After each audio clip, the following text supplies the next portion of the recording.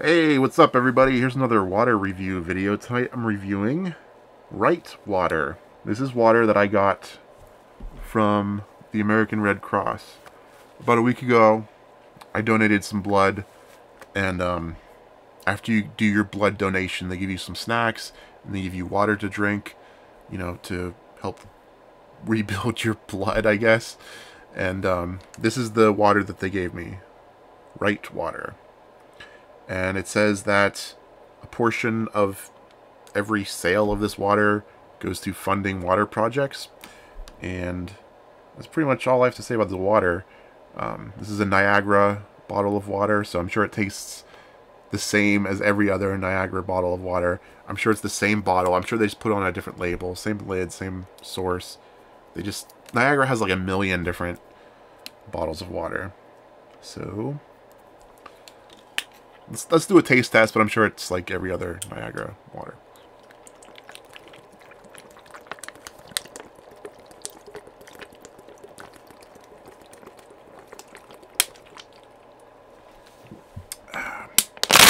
Yep.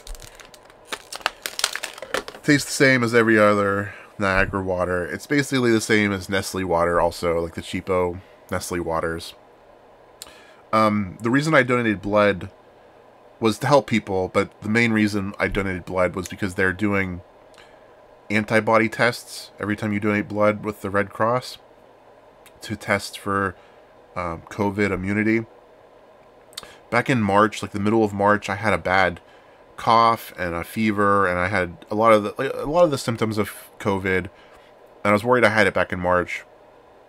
So I, I've always wondered, and um, I did the blood donation, and I got the results today.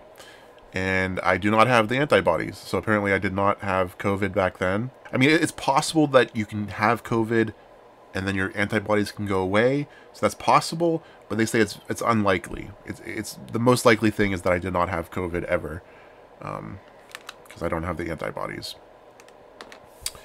Yep. So um, hey, if you want to get your antibodies tested, go to the Red Cross donate some blood. I have uh, O negative blood, which is apparently kind of rare and it's compatible with anybody else.